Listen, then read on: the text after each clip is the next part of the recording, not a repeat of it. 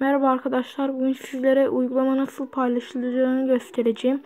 Ee, sizde uygulama uygulama paylaş diye bir uygulama gerekiyor. Onun linkini aşağıda vereceğim. Hemen uygulama hızı açıyoruz. Tamamdır.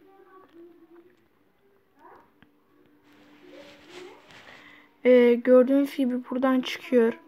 Hmm, ben buradan Minecraft'ı göndereceğim. Paylaş diyorsunuz. Reklamlar gelebiliyor tabi.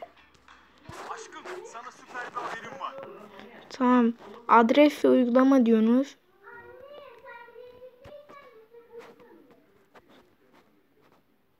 Buradan Bluetooth'a tıklayacaksınız.